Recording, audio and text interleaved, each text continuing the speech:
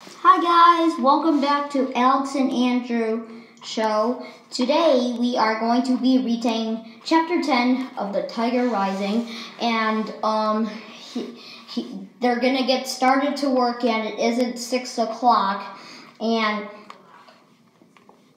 this chapter we're gonna get introduced to somebody new. You know, let me fix the camera. Alright, here we go. I hope you guys enjoy. Here we go. Chapter 10.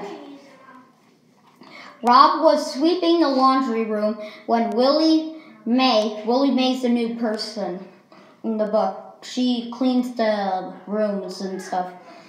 Rob was sweeping the laundry room when Willie May, the Kentucky Star housekeeper, came and threw herself down in one of the metal chairs that were lined up against the cement block wall. So she's she's the housekeeper's and stuff, and Beauchamp is the owner. You know what? You know what? She said to Rob. No, ma'am, said Rob. I'll tell you what, said Willie May. She reached up and adjusted the butterfly clip in her thick black hair. I'd, I'd rather be sweeping up after some pigs in a barn that, than cleaning up after the people in this place. Pigs at least give you some respect. Rob leaned on his broom and started stared at Willie May.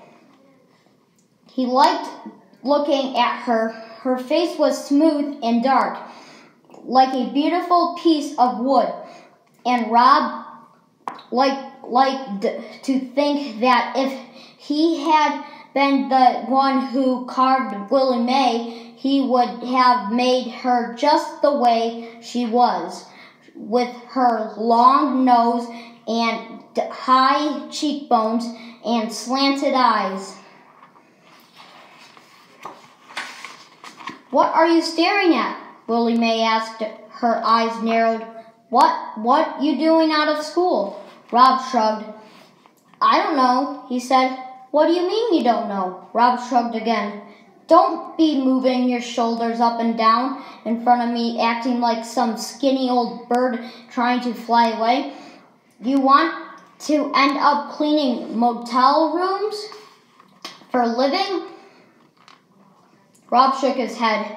That's right. Ain't nobody want this job. I'm the only fool fool Beauchamp can pay to do it. You got to stay in school, she said, else you'll end up like me. She shook her head and reached into the pocket of her dress and pulled out a single c- c- cigarette. Secret. Cigarette, I think. And two sticks of eight ball light chorus gum. She put one piece of gum in her mouth and handed the other one to Rob, lit her cigarette, gar, garretti, leaned back in the chair and closed her eyes. Now, she said, the scent of smoking and lycerus slowly filled the laundry room. Go, out, go on and ta- tell me why you ain't in school. On account of my legs being all broke out, said Rob. Willie May opened her eyes and looked over the top of her glasses at Rob's legs. Mm-hmm, mm, she said after a minute. How long have you, how long you have it? Had, have, had, you had that? About six months, six months, said Rob. I can tell you how to cure that, said Willie May, pointing with her cigarette at his legs. I can tell you right now, don't need to go to no doctor. Huh? said Rob. He stopped chewing his gum and held his breath. What if Willie May held, healed him and then he had to go back to school? Sadness, said Willie May, closing her eyes and not, nodding her head. You keep all this that sadness down low in your legs. You not, you not letting it get up to your heart where it belongs. You got to let that sadness rise up. Oh, said Rob. He let his breath out. He was relie- relieved Willie May was, str- was wrong. She couldn't cure him. The principal thinks it's contagious, he said. Man, man ain't good, got no sense, Willie May said. He got got lots of certificates, Rob offered. They're all framed and hung up on the, his wall. I bet he ain't got no certificate for sense, though, said Willie May darkly. She rose, she rose up out of her chair and stretched.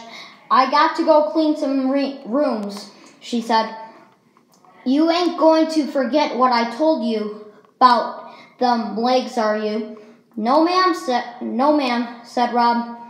What did I tell you then? She said, towering over him. Willie May was tall, the was tall, the tallest person Rob had ever seen. To let the sadness rise, Rob said. He repeated the words as if they were part of of a poem. He gave them a certain rhythm, the same way Willie May had when she said them. That's right, said Willie May. You got to let the sadness rise on up.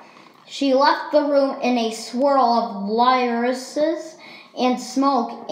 After she was gone, Rob wished that he had told her about the tiger. He felt a sudden desperate need, need to tell somebody, somebody who wouldn't doubt him, somebody who was cap- capable of believing in tigers.